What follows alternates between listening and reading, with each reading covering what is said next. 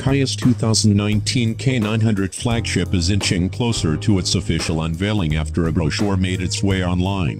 Compared to its predecessor, the all-new K900 will boast a more elegant exterior, with a lot of chrome inserts, front, rear and profile. Meanwhile, headlight and taillight graphics are very similar. The wheels feature a 10 twin-spoke design and the profile gains a design element similar in shape to a paddle. The BMW 7 Series is rocking one of those too.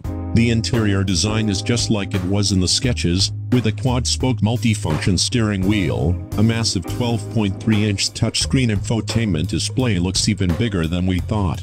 Three power units will be made available to the all-new K900, including a twin-turbo 3.3-liter V6 TGDI engine, joined by a 3.8-liter GDI and the larger 5.0-liter V8. While the 2019 K900 will indeed come with an all-wheel drive system, it seems like you can only get it on one of the V6 variants.